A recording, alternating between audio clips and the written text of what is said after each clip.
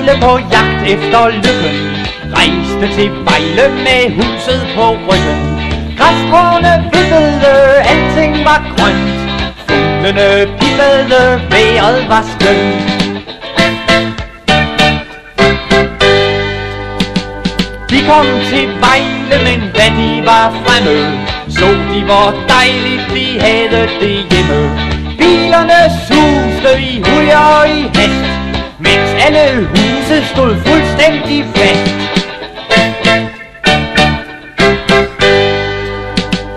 Huse så svære og tunge at flytte Kan ikke være til ret meget nytte Sagde de med et foragteligt snyft Vi tager afsted til vores græsgrønne grøft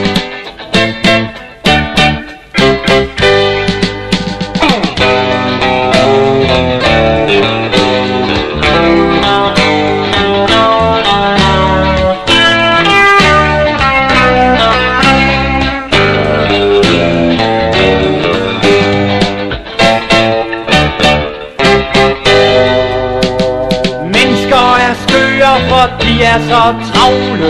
Hvis man skal røre sig, skal man da kravle. Tre glade snegle begav sig nu snart. Ud til vejle i jævn sneglefart.